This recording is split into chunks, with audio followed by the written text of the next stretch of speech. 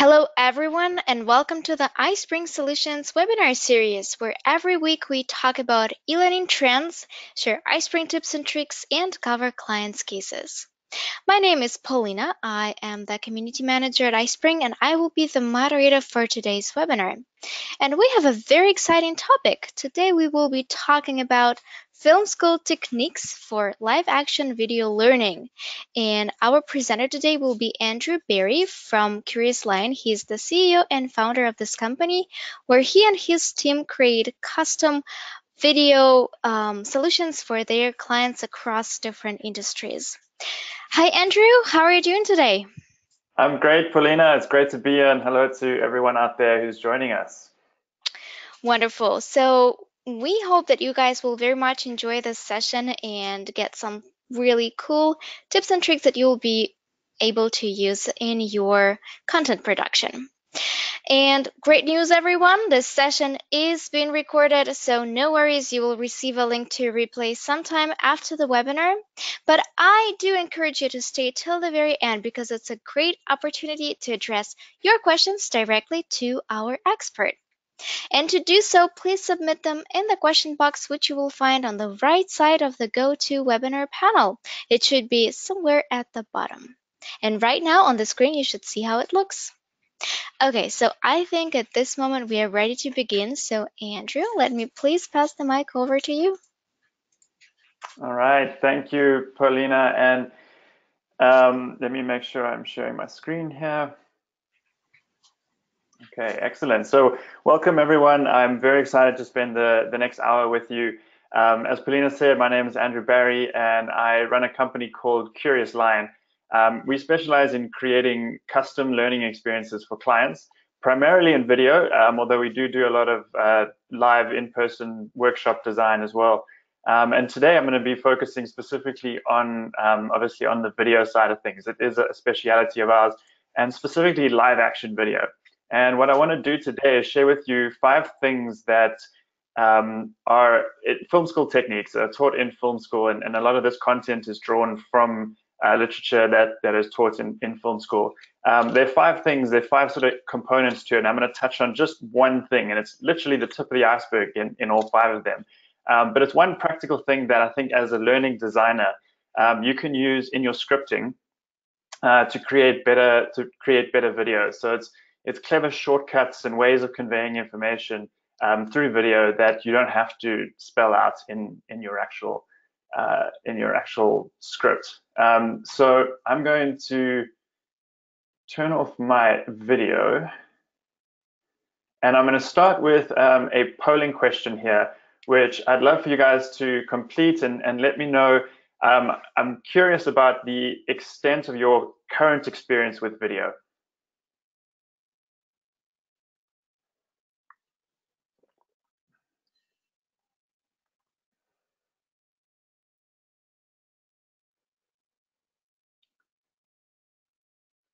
Interesting results we're getting here.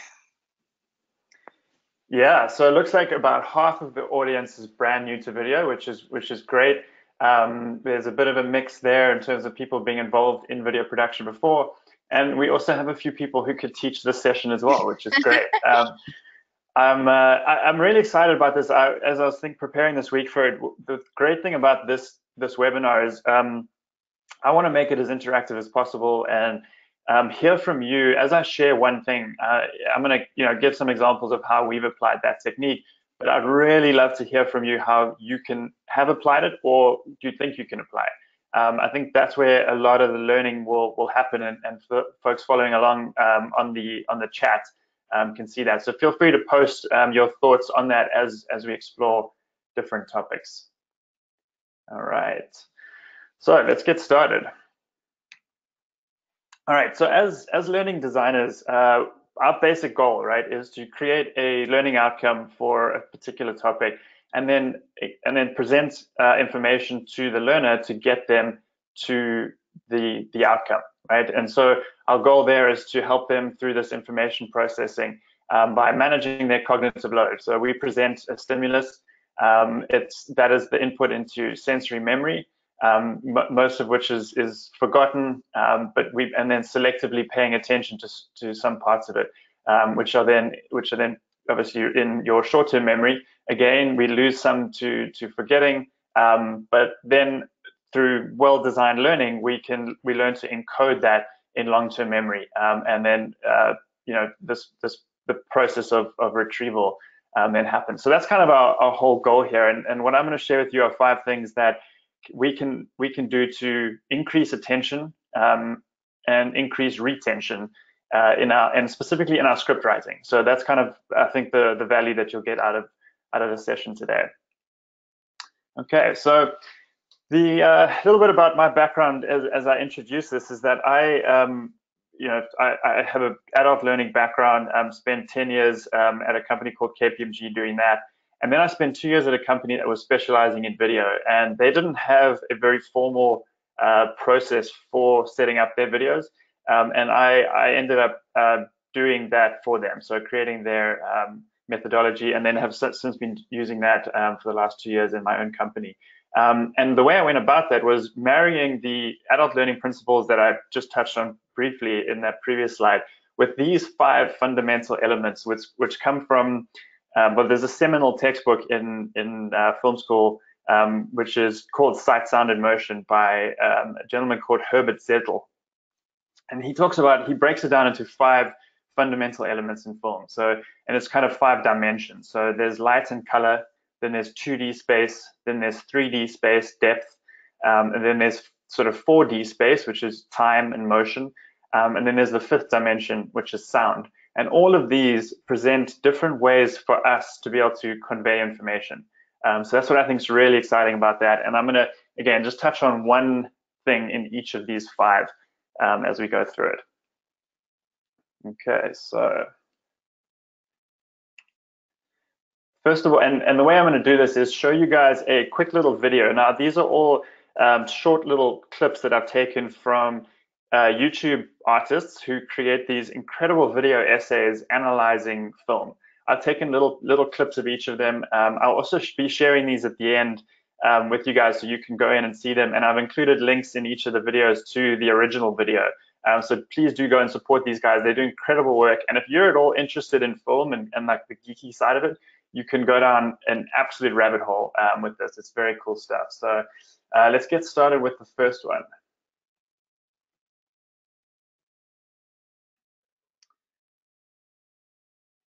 Okay, let me just move this around. Okay. Next tip, use color to push emotion. Now, this one can get a little bit abstract, but the concept is simple again. One way to tell story through lighting is by using colors that communicate how an audience should feel about that scene. For starters, and to hit the essentials, remember that warm tones like orange, amber, and straw tend to make us feel connected, intimate, and nostalgic. While cool tones like blue, cyan tend to make audiences feel cool and detached. Now, for going beyond those two color tones and going a little bit more stylized, just take a moment to think about how a color feels before implementing it. For an easy example, I'm sure all of us can remember a time where a saturated red has been used to emphasize urgency, passion, or danger in a scene.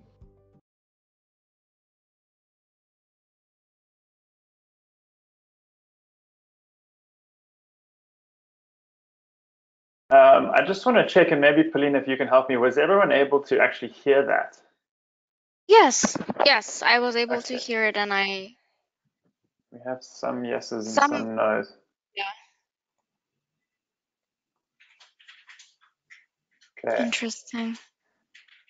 I, I think it might be a setting uh, on the user if we've got if some people were able to to hear it. Um, yeah, so I'll I'll look at the volume next time as well. Um, again, I will also include tips, uh, I'll include links to these videos in in uh, the follow-up to this webinar, so you can go back and review these. Um, so this first one was talking about color, and specifically what what he was uh, showing the contrast there between was um, saturation, which is actually the out of all of these um, aspects of color, it's actually the one that has the most impact on the way we receive information uh, when we're viewing footage or, or film.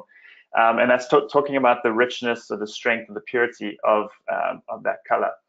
Um, so in that in that in that typical example there you show the difference between warm colors and and cool colors and how they and they convey sort of feelings um, which again if you think about when you're scripting for a for a video um, to be able to convey an overall feeling about something um, in without using any you know valuable space uh, having to to script that and write that out and have have a narrator say that um, it's incredibly powerful right? So one of the ways we use this, we do a lot of uh, compliance training, and uh, and if you think about, you know, the, there's often cases we, we show scenarios where there's there's a good way about, of doing something, and then there's you know a bad way of doing it, and we'll contrast those two, and we'll often show that that bad way or or another good example of this is, is showing the emotion of a person, you know, for example, maybe receiving feedback.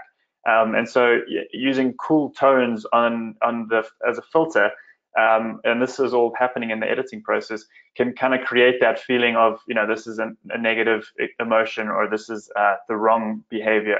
And then contrasting that with a warm sort of sensation uh, or, or, filter in that saturation gives that that feeling of okay resolution, you know, or this is this is the correct way of doing it. So um, I would love to hear from you guys uh, examples that you have used, and this is really what we're talking about here: is the warm versus cold colors um, it's, and the saturation of them. Does anybody have any good examples of, of other ways that they've used that contrast to convey information?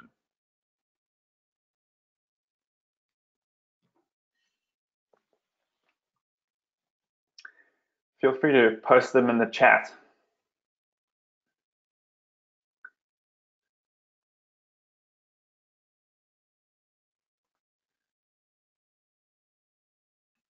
Maybe you can give an example of how you used it. Yeah, like I said, it, it's the um, compliance training is a great example of it, and we use we use that all the time. So if you imagine a scene where some character is learning about how to um, you know protect credit card data of their customers, for example, and you show bad behavior of them, uh, you know, leaving the room with the credit card in their hand, for example.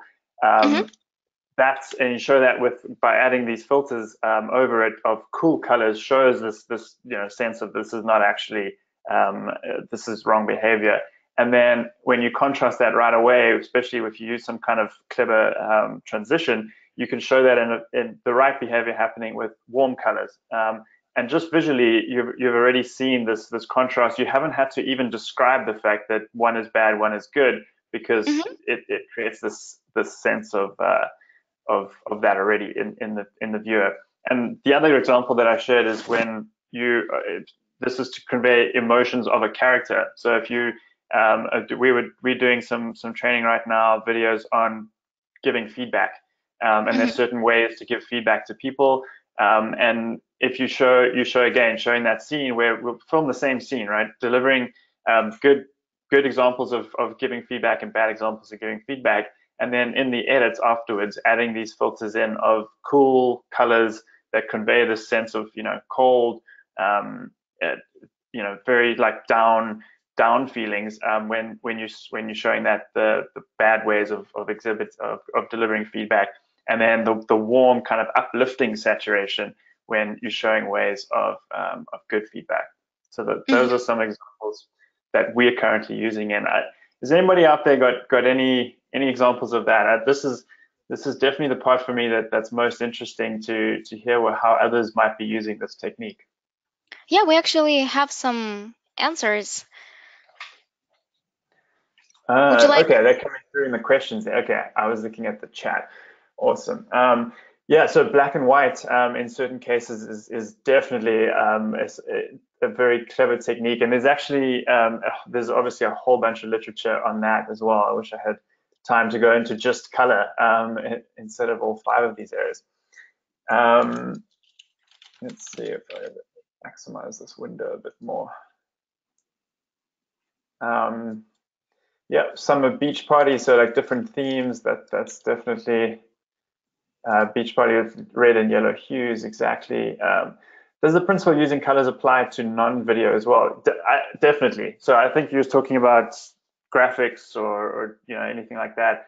Um, it it's less so in terms of an overall filter on the screen. That's where it has its most impact um, for this. But it's definitely something to consider about every color has a meaning. Um, and so, yeah, so it, again, to this point here, Elizabeth, about uh, red being warm, does it mean urgent? It, it can, it, absolutely can. And so again, that's the, the intensity of that saturation is what's gonna get you that kind of feeling. Like, and if you think back to that video that I showed, um, there was one scene where there's that red, very intense red, and that definitely creates urgency, even sometimes danger. Um, you know, so I think the point here again is when you're scripting and you want to convey these feelings, um, these moods, just using a simple filter on your on your edits and post production can actually do that for you, um, and it, it saves you a lot of time having to uh, to explain that in the script. A um, couple of other examples: um, express profession, design and presentation, and character development. Yep, nesting a story told inside a main storyline. I love that. Um, yeah, definitely, and changing the, the sort of color filters um, to to show these two different stories, and uh, you, a lot of cool things you can do there to play around with how that you know resolves and the, the colors start to match up. Um, definitely some cool ideas. Yeah, color to make words pop out. Joe, thanks for for thinking on the spot. Appreciate that. Um, yeah, so yeah, so these are all these are excellent, um, and this is this is a good little warm up for for the next uh, the next four because uh, as you'll see, I, I, think what's what's interesting for me, there's no you know there's no like there's no right or wrong answer of ways to use this. It's just more like opening up all these great ideas that you can use it for. Um, so I think for me, when when I did this research initially, was just the ideas just started flowing of, of ways that you can use it in uh, in your video production. So, oh my gosh, we've got so many here. It's awesome. Um, colors to emphasize. We've got a couple minutes then I'm going to move on to the next one. Um, brain equals cool and emotion equals warm. Yeah, that's awesome. Using alpha effects to make images and words come into focus. I like that.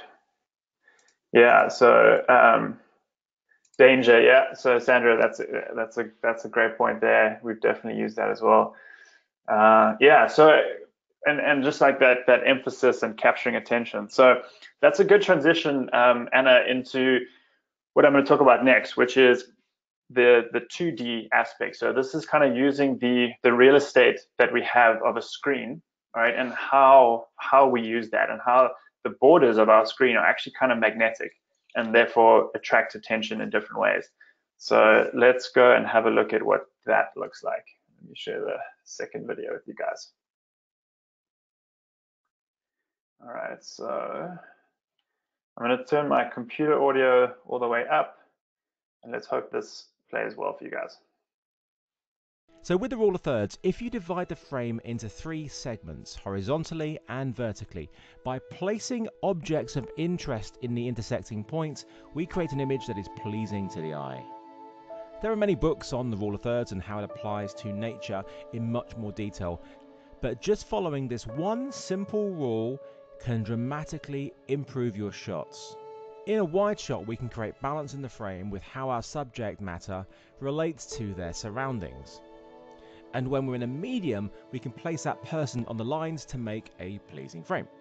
When we're in the close up, by placing the eyes on the intersecting points helps draw our attention to them. The eyes, as they say, are the windows to the soul, and they automatically draw our attention to them. By placing them on the rule of thirds, we are helping to drive the viewer's attention that way. We can even sacrifice many other things by keeping the eyes on these intersecting points. We can chop off the top of somebody's head in the frame as long as the eyes are in focus. In fact, we can get away with quite a lot as long as the eyes are in focus on the intersecting points.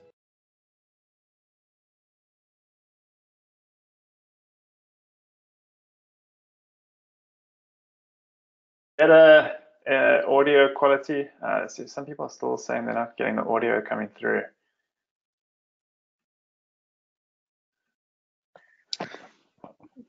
Okay, but I think I think a lot of people are able to hear it, and I'm gonna so I'm gonna continue with that again. We'll share these clips afterwards. You guys can refer back to them. Um, it's you're not losing too much um, by not hearing it right now. Um, okay, so I think this was a really interesting one for me. Um, and what they talked about here was what you see in the bottom left-hand corner, the rule of thirds, um, which is the placement of objects, of people, of eyes. You, you heard was was very very important, which actually allows you to break certain other rules, like cutting off the top of the head, for example, if you if you're clever with placing eyes.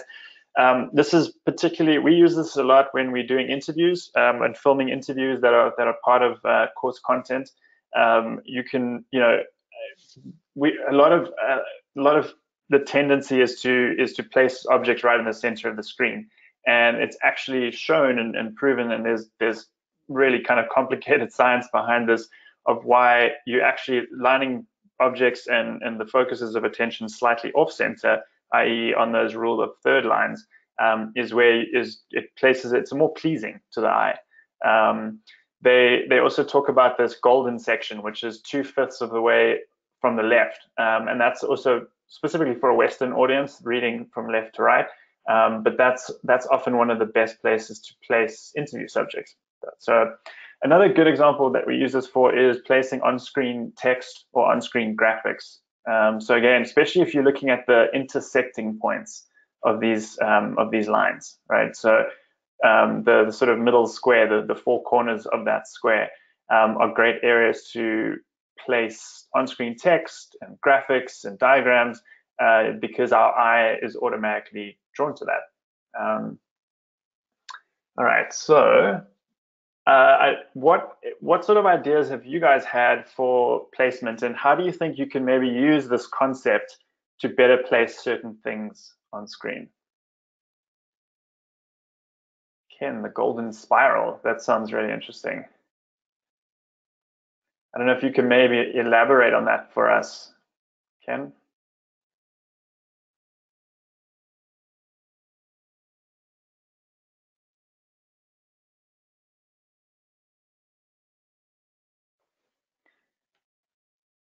Go back to that. I'm trying to think of other ways that we do this. So um, you saw, you know, like the the, the interviewing uh, people, and we'll talk about this a little bit in the next video as well. Um, there's actually a lot of interesting um, ways that you can show interview subjects, um, which it, I think a lot of you may have maybe familiar with masterclass, um, and there's a lot of these masterclass videos that you can see online where they they do a great job. It's obviously super high production quality um, where you've got the interviewer looking at the screen. You've also got side shots of them, um, so they're placed in a different way. All of that is helping to keep attention, right? Because it's sort of like it breaks up the potential monotony of a video that's just someone looking at a screen. So th those examples of different uh, different angle shots, even just filming someone um, and then and then filming, you know, taking a kind of a jump cut in for a zoomed type shot, right? So if you if picture it's like a waist up shot of the interviewer and then do a, a cut in to kind of key into just their shoulder and head. Um, it's the same person talking in the same sentence, uh, but at the right time, you're just jumping in like that. Again, it, it, it sort of refocuses attention. Um, one of the little tip on that is we, we always try film in, in 4K, um, which allows you then to not have to actually do the zoom while you're filming, but you can do that in post-production by you know by zooming into a certain part of the frame and then just having that um, in your edits. Um, ah, awesome, golden spiral. Okay, nature's way of drawing attention. Yeah, that that's awesome, Ken. I'm gonna I'm gonna go down that rabbit hole after this. Um, easy for adult learning to get too busy on a frame. Try to keep it simple. Yeah, that's a great point, Sandy. Um, and you know, balancing things out. It, it you don't want to clutter the screen. And and even just those simple lines i think you saw in all those videos that you can see even this image um, on the slide here is, is, a great example of that. Um, yeah marcus the chat is on a bit of delay. It, that is true. But it's great. Now i'm getting all these great points. Um, using unbalanced placement for eyes to move across into the point of interest. Yeah so yeah so so that's a that's a great point that elizabeth makes is also knowing what these rules are and then also being creative in, in kind of unbalancing things um, can also help shock attention or you know really grab attention in certain ways. Um, you saw that in the video where you know again there was the one guy whose head was cut off a little bit. you had that really tight shot on just the, the, person's eye and you sort of everything else is kind of blurred out. Um, all of those things can can be used as just really creative ways to to get attention and to you know to to focus the eye on certain things that you want them to be seeing. Um, yeah, cropping an image could follow the same rules, um, Elaine. That's a that's that's exactly it. You know, so it whenever we we're doing this now all the time, we're making scripts or or, or presentations. Um, it's it's also the the placement that you use there um, is it, this this rule can definitely be applied for that. Um, Lucia, so a tilted camera angle. So actually, in the next uh, section, we'll be talking about camera point of views. Um, so I think we'll answer your your question there. Um, Ken, thanks for sharing that YouTube video. Um, everybody can see some examples there of the golden spiral. Um, yeah, negative and empty space for text. Um, yeah, exactly.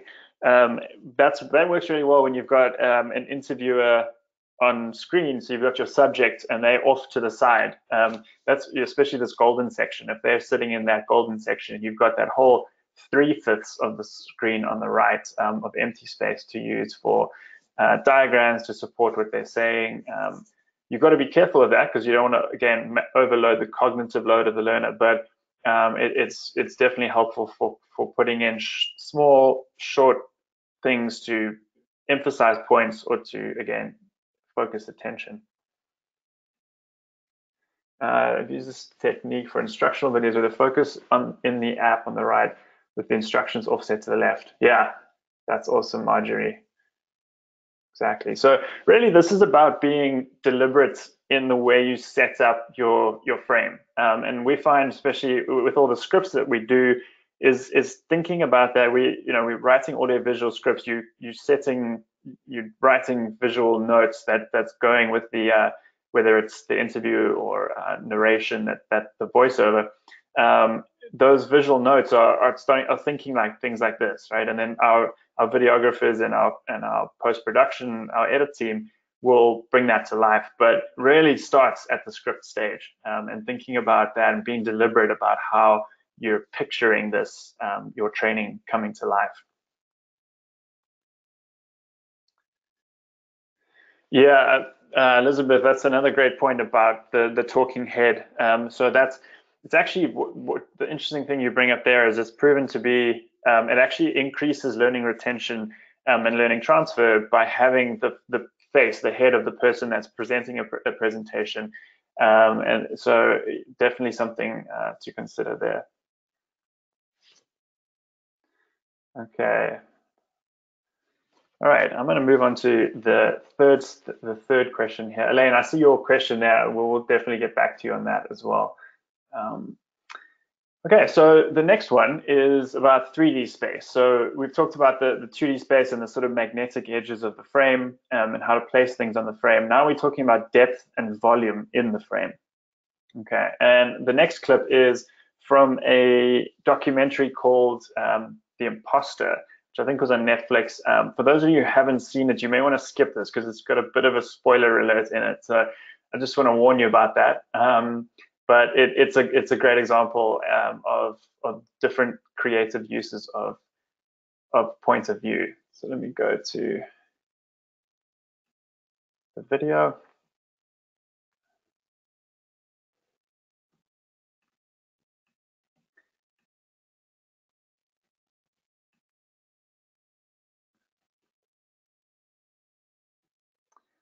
Okay. Let's dig in.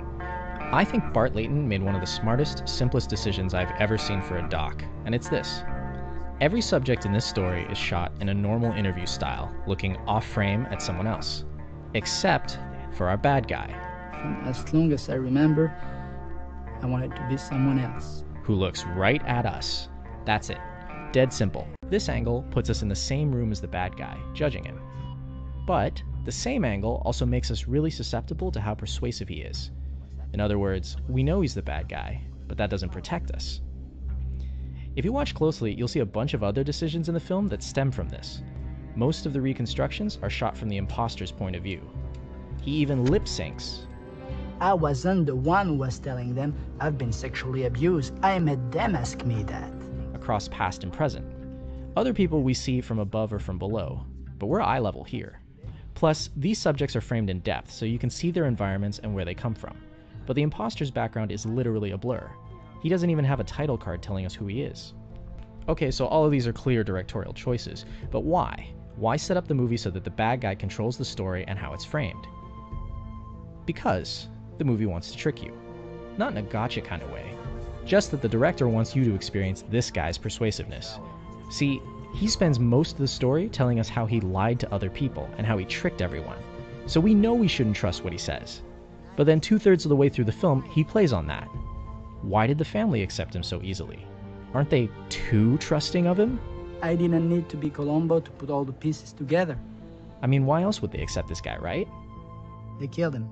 Some of them did it, some of them knew of it, and some of them choose to ignore it. Wait, what?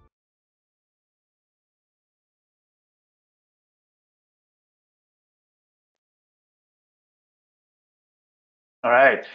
Um, so a a really fascinating film. I, I, highly encourage you to to see that anyway, even though I've probably spoiled it for most of you. Um, it's uh, it. What's so interesting about that is again, it was a deliberate intent by the director to to change something as subtle as the camera angle and, and the way, the point of view that you're looking at the um, at, at the action, right? So when you in, in all the interviews with the the main subject of the film, you're looking right him right in the eye, but in all the interviews with everyone else, you're looking at a point past them, right? Very subtle shift.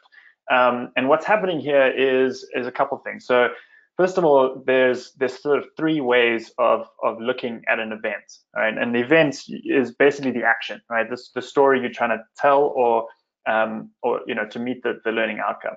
Um, you can look at an event. So the point of view is of the observer, and you're looking at the what. So it, they call that um, event clarification.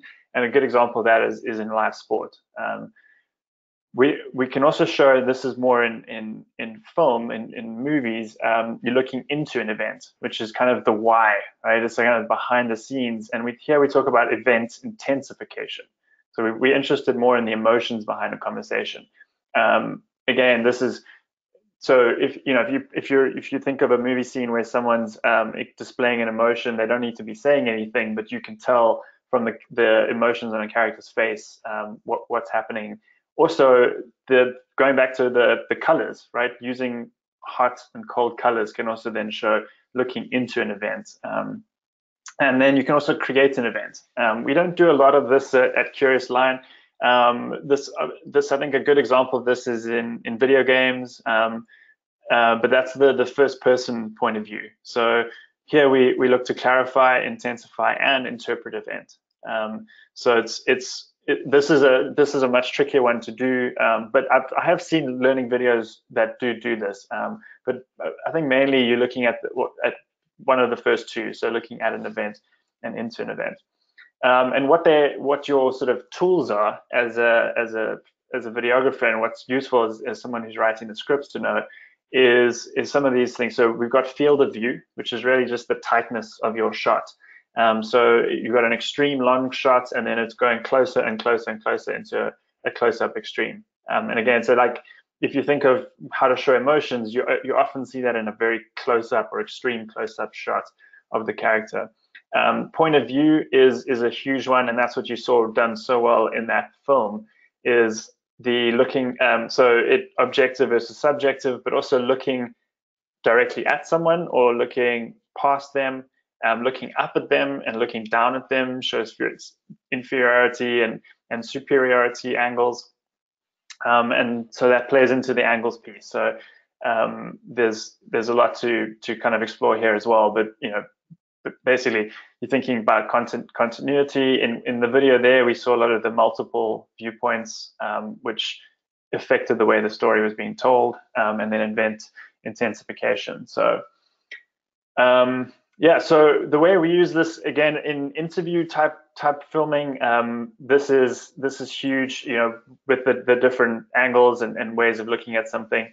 Um, and point of view is for us is something that is right at the very beginning when we're scripting and coming up with the the character, and especially for well, most of it is narrative based. Um, coming up with narrative based training, we we often think about the character that the avatar that is going to kind of represent the learner, at least the learner to be relatable to the learner. Um, is that character? Do we want to show them, you know, the point of view going back to this? Um, looking at them? Do we want to show it from their point of view? Um, so there's a lot of things you can experiment with with here, um, and I want to see if uh, if you guys have any examples of this that we can share as well.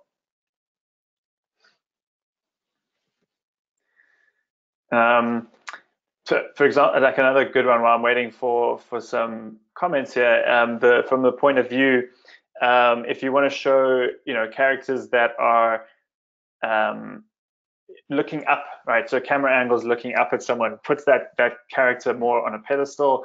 Um, create it can convey feelings and and and of you know um, authority, um, respect, those kind of things. And looking down at someone has the opposite effect. Um, so again, using that to tell information about a character where you don't have to actually introduce that character, um, just by subtly changing the camera angle, you're already conveying a whole lot of information about their standing and their role in, in the overall story.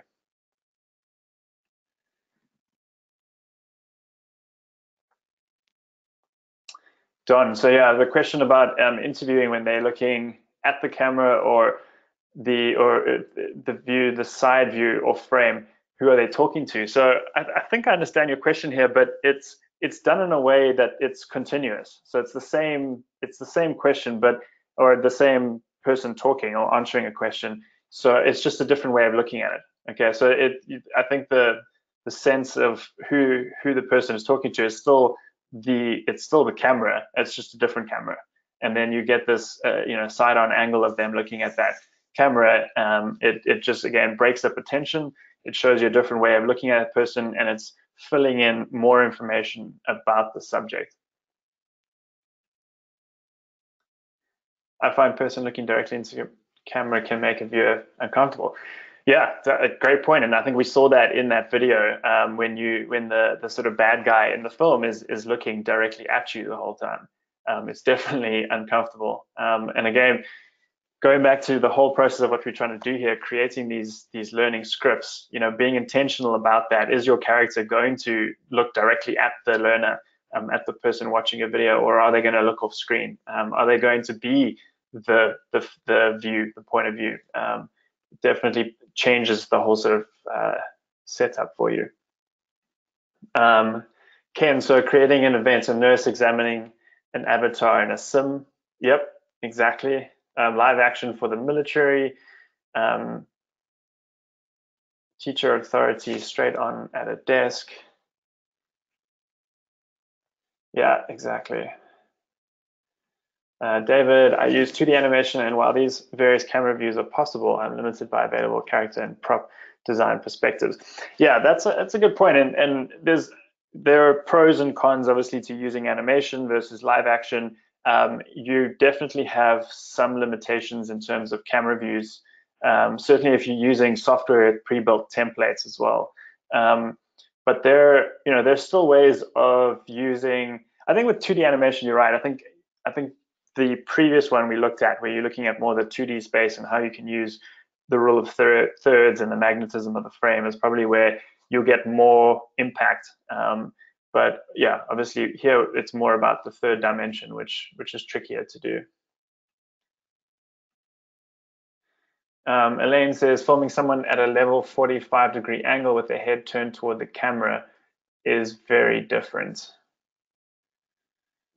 Yeah, yeah, and and I think Elaine, to this point, it's you know playing around with these different angles and actually seeing what they look like is is quite, and you can do that with your cell phone. You know, it just kind of doing that that um, that you know using a friend or a colleague and, and filming that from these different angles and see what that looks like um, and see what that tells you about a character um, that you're trying to develop and if you're trying to to show that person for example okay this is another great example we actually do this um, is if you want to see if if your if your goal is to show a learning outcome through the learn the learning process of a character, right? So you, we follow their journey of learning, changing the camera angle from the beginning. Maybe it's kind of slightly up, looking down at them as they don't know how to figure out, you know, and, and they have the same kind of problems the learner has when they're starting with the subject.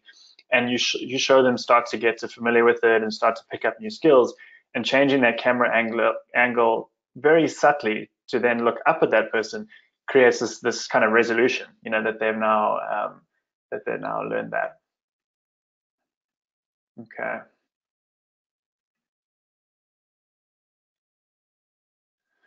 All right, cool. Uh, let's see how we're doing for time. Okay, so let's now move on to the fourth fourth dimension, which is time and motion. Okay, so what we've got here is um, is basically so we and we've covered every aspect of the screen in terms of a, a scene. Now we're talking about moving from scene to scene. So we we're talking about the time elapsing in a in a video and the motion of characters within the video. And specifically in this one, I want to focus on transitions and how powerful those can be to create momentum in our learning videos. Because one of the biggest challenges we all know is we don't want to have videos that are too much longer than you know three to five minutes. Um, uh, and and to to keep information down to that sort of small uh, bite-sized nuggets of of content is is challenging, and transitions and momentum can help us with that. So let's have a look what that looks like.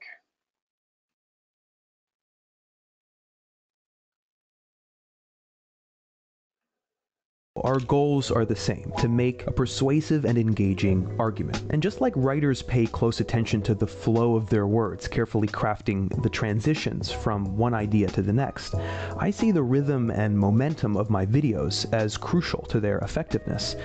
And here's where I can learn a lot from Edgar Wright. Can I get back to you on that? Edgar Wright is a master of rhythm. What you just saw is one of many extraordinary scene transitions from Scott Pilgrim vs. the World. It lasts about four and a half seconds, but it's worth taking a second slower look. This transition is all about movement to the right. It kicks off with Anna Kendrick looking to camera right, which is the direction of the movement, but she's also looking at her brother through the split screen. Her split screen is keyframed off to the left, and so is Scott Pilgrim's.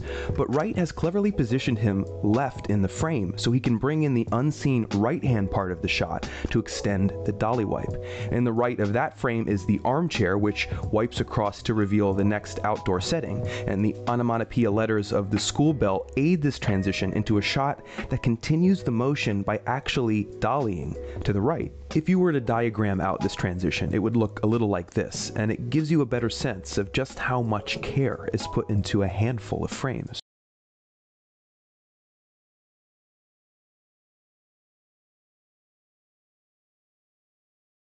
Um, so Edgar Wright, I don't know for, for those of you who, who are not familiar, he did Scott Pilgrim, um, Hot Fuzz, a lot of those kind of movies. He is an absolute master at transitions, and you can see how much thought, how much effort, how much you know detail went into just that one transition. Um, but what he was able to do there in, I think it was wasn't even a few seconds, was was show you know that scene transition and and put us right in this schoolyard where you know the, the closing bell is gone and people are leaving uh, school um, he does he, the, all of his films are just littered with these kind of transitions. Um, there was a lot going on there. Um, there was um, so he mentioned the you know so the framing we, we saw as well, which we talked about earlier, um, was quite interesting of just positioning characters in different places, especially so that he could then transition with a wipe. So that was another thing he mentioned. We'll talk about a wipe in a second. Um, and then at the end, how the camera dollied. Um, and this is kind of some of the principles here of, of time and motion in film. So um, you've got essentially three different types of, of motion. Um, you've got primary motion, which is the event itself, um, and that's occurring in front of the camera. So that's, you know, the people walking out of the schoolyard, there's motion coming towards you as the viewer. Um, then you've got the secondary motion, which is the camera, um, which can either fan, tilt, zoom, or, or dolly. Um, and what the difference between that basically is that in zoom, the subject is moving closer to the camera, right, through through the zoom, zooming in and zooming out. Whereas in dollying, the camera is actually moving closer to the subject, and that has a subtle difference in in effect on on the viewer. Um, and then finally, the tertiary um, which which we saw done so well and probably was one of the best um, out there, is that the struct changes, so the transition from from scene to scene. Um, what this basically allows you to do is control the pace and the rhythm of your videos. So when we're scripting um, our, our, learning videos, we pay very careful attention to those transitions and try to come up with creative ways. I wish we could be as, as good as, as Edgar Wright, um, but creative ways of transitioning from scene to scene so that we can tell a complete story, moving a, a learner through that learner journey to, to get to that learning outcome um, in the most efficient and, and effective way. Um, so I will um, I want to hear some of your thoughts on that, Sandy. The dolly, hopefully I answered your your question there. Um, the yeah, one of the ways we do this is um, using the wipe transition. So I said I'd come back to that. Um, you saw him do that there with the the word the onomatopoeia um, of the bell is was the, the sort of wipe there. We'll often use um, for when we're doing client projects, we'll use the you know a, a, a branded kind of wipe transition, which comes across the screen, and try and follow that right away with movement. So primary movement, um, motion happening in front of the camera, that's in the same direction of that wipe. Okay, so um, an example of that is um, trying to think. So we, we, we do a lot of um, software training as well, creating software training to to help um, our clients teach their customers how to use their software. And if we're transitioning, uh, that can get kind of technical, right? Because it's, it's looking at the same thing and you, you you've seen some clicks and that kind of stuff.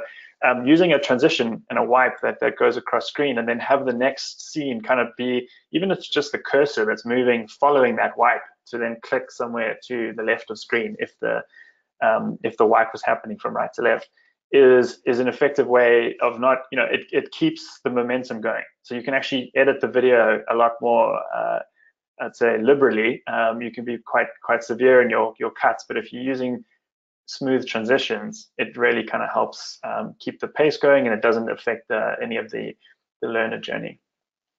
Um, so I'd love to hear some of your thoughts on this. Uh, David says I thought the scene transitions after the first were discordant and poorly structured. Um, interesting, interesting observation there, David. I so I think you're you're referring to the video that we saw. Um, it's I, so I think you know looking at it in slow motion and breaking it down like that can can definitely have that effect. I don't know if that's what you saw as well, um, but I would I would encourage looking at again in real time and just kind of, especially other examples of what of what uh, Edgar Wright does. In fact, I think if, um, if when you download these slides and you you'll get a link to this video, I've included the link to the original of that video, um, and it's about 20 minutes worth of really great examples um, of scene transition. So you you might get some good inspiration from that. Um, yeah, complex camera gear is definitely required. Yeah, dollying, you know, does require a track and and some kind of movement. Um, although these days, you know, you can you can do some pretty some pretty nifty work um, with like a Ronin or you know, so various ways that you can you can move a camera in and out of of um, a scene. Um, but yeah, it, it is one of the more complex things. Um, but you could play around with zoom. You know, that that's a that's another way of of creating this kind of movement. And you know even like starting a scene with a very tight keyed in shot of a of a subject and zooming out helps quickly create that context of of where you know the the image that we've just seen is coming from um, Sandy, a, a, question on the type of tripod. I think we've had a few questions about gear, and I think what I can do um, is is follow up um, with Paulina and potentially provide some some tips and resources there the thing, the tricky thing is it, it depends. You know, it depends on the size of the budget, um, what you're looking to achieve. Um, so there's not really a, a, set answer I can give there. Um,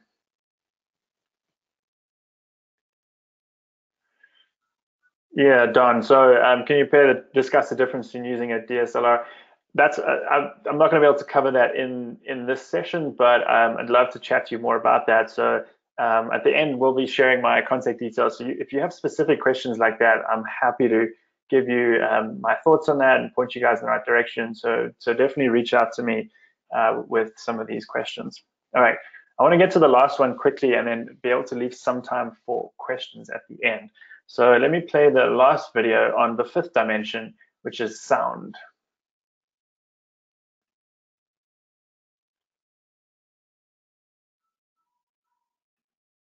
Walter Murch had this great saying. He said, you know, images come in through the front door, but sound comes in through the back door. So you can be a lot sneakier with manipulation.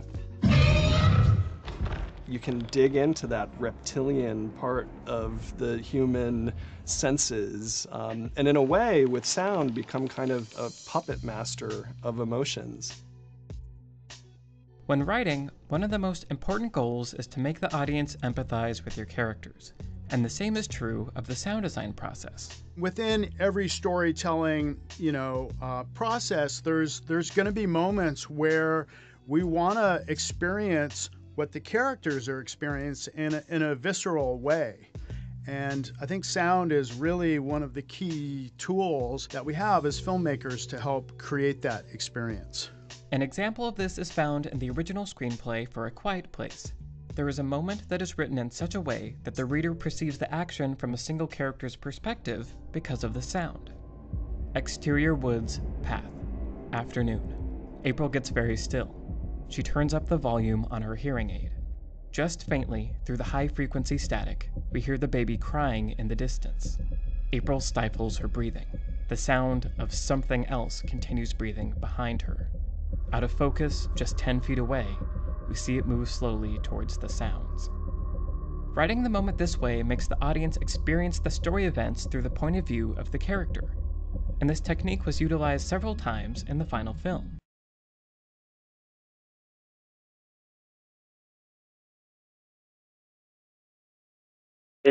film um, an example of clever use of sound in, in, in a film, especially that has to use this, is Bird Box. Um, so I don't know if anybody um, on here, if everybody's seen it. Um, I think it's on Netflix as well.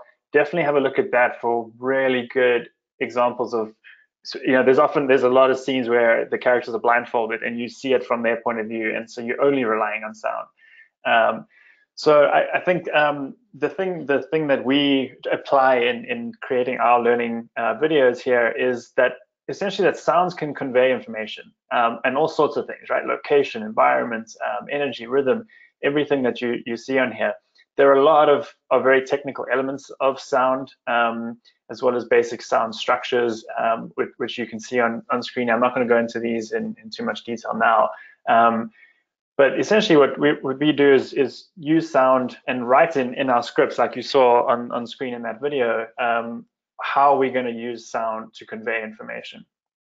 Um, one good example of this is if we want to film an office scene um, and we wanted to create some kind of um, sense of, of, you know, of volume of, of, a lot of people in the office, even if we say filming with only three characters or three actors, um, we we will use you know background sounds of offices, so you know fax machines and computers and you know just general kind of office sound in the background creates that sense that we're in an environment that is much bigger than potentially the environment that you just see in front of you. Um, so that's an, a good example of that. But um, we saw in the previous video with the, the sound of the bell, you know, being used as a way to transition between scenes as well is another clever way um, of using sound. And um, very often you don't have to actually say something. Again, what we I always try and tell my scriptwriters is we want to try and limit the amount of words we're saying. Most of our stuff um, we do is, is got voiceover, so there's there's you know, or it's dialogue, but it's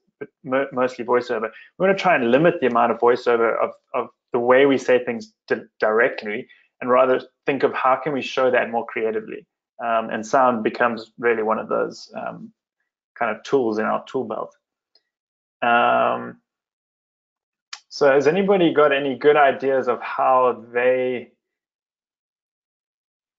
uh, how they use sound? Um, so I'm looking at Don here, um, using Hollywood style clips illustrate these principles is grand. But yeah, so okay, that's being realistic here, Don. I think it's it's a very important point to make is that um, this is as you say, it's illustrating principles here. Um, there's obviously always going to be constraints in terms of what you can do, um, and so it's not uh, it's not to get kind of disheartened to say like I can't achieve any of that. There's actually a lot you can do, and there's a lot that we're applying in our in our videos that are coming from principles that you can see in in uh, uh, in these videos. And yeah, I mean, it's it's it would be great if we had these kind of budgets to be able to do some of the really cool things in here. But you know, even just using like the examples I've shared of uh, putting color filters on your on your videos uh, in post production, or using transitions deliberately, or using sound in a way to convey information. All of those things can add um, a lot of value to to your videos. Um, I have no idea where to find these sounds. So Elizabeth, there are tons of great resources online. Again, if you if you want to message me um, separately, I can share that with you. Um, there's actually there's there's great stock uh, sounds which you can purchase. Um, there's also a lot of good free resources out there for um, under Creative Commons licenses. Um, Alice, I wish I had more time to talk about voiceover tips. We've got tons um, of experience with that. That is definitely one of the uh, one of the most common things that we're focusing on. Um, so again, if you want to message me afterwards, I'm happy to, to pick that up with you. Um, Sandy says, could be interesting to illustrate what a person with dementia experiencing or someone being trained. I, I love that. Um, you, you're clearly responsible for a lot of um, training in the healthcare industry, and I think that's a, a great way of, of describing that is, um, again, it's it's that point of view, you know, so if you're showing, um, you need to show if you're your learner is the person that's um, caring for someone with dementia and you need to show to them you know what it's like to have it or um, and you you have that you create that point of view um, you can definitely you can definitely use sound to do that. Yeah don um, offers telephone traffic sets an environment. Yeah it just it creates and again that's something you can do on a fairly low budget. Um, so that's that's a great point. Um, sound bible david that's a great suggestion. We use a lot of that as well I do think some of the principles can. Yeah, Jeff, that's a great point. Uh, still images. Again, it's it's it's the principle that's interesting here. It's not the execution necessarily um, of how they do it in Hollywood. Um, it's it's nice to just watch it done beautifully. Um, I'm sure you'll will all agree. Um, Jeff, so this will be presented as a series. Yeah, I think yeah. I mean, I, I think you're alluding to the fact that we can go into a, a lot more detail on each of these, um, and that it really is a lot of depth that, that can be explored here. Um, and we, are definitely scraping the surface, um, unfortunately. Um, is there a resource for PowerPoint transitions that are effective? Another great question, Elizabeth. Um, th th there isn't, again, a hard and fast rule on this. Um, there are examples of things that work well, and some things will work better in different subjects. Um, so again, if you want to chat to me afterwards, I'd be happy to share some examples of, of that with, for you. Okay. Um, as we're starting to wrap up here, we don't have much time for Q&A, but I think we have um, we have actually got the um, we've done a lot of Q&A through this, and and if you guys have any more questions for me or anything specific that that you think um, we can help with, I'm always up for a chat. I really do enjoy this stuff. Um, I enjoy learning from it, which is why I'm so um, grateful that you were able to share a lot of good ideas here. Um, we're always learning new stuff all the time. Um, so this is how you can get hold of me. Um, we've also got some um, some free resources here that you can download um, if if you find this stuff interesting. Specifically, this one on the left, which is more it's a more curated list, um, full videos of these kind of things and all different areas from editing to screenwriting to uh, to character development to sound. Um, give you some really some good ideas and inspiration for for some of the training that you're doing. Um, I think Paulina will be sharing this this PDF in a in an email with you guys, so you can also you'll get access to these links. You can click them there and and download um, these resources. So I think we're just about out of time. Uh, I want to thank everyone for for your great suggestions here and, and participation. Um, I really enjoyed this, and and I hope you did too. Thank you so much, Andrew. This has been a wonderful presentation, and I am super happy that you found some time to share your tips and tricks with our audience. We very much appreciate it, and I hope that you guys enjoyed the session as much as I did, and I'm sure that you will be able to apply some of the um, great um, tips shared during today's session in your content creation. That's just some creativity, I guess, that needs to be taken into mm-hmm. action. And yes, um, yeah, we actually are out of time here, but I will be sharing uh, Andrew's presentation and also um, the way you guys can get a hold of him, uh, as well as all the helpful links to resources and other great materials. So I would like to thank you guys for tuning in today and making this session very much interactive. And we do appreciate it. And Andrew, thanks to you for speaking for us today. Thank you. I, I had a great time and good luck to everyone. And, and I hope you find some inspiration on your next project. Wonderful. Okay, guys, so I hope everyone has a wonderful day and we'll see you at our next webinar. And by the way, just to make sure that everybody knows, let me just very quickly share the link with you where you will be find where you will be able to find all our previous sessions as well as the schedule for the future upcoming webinars. Okay, so again, have a great day. See you at the next Bye, Andrew. Bye bye. Thank you.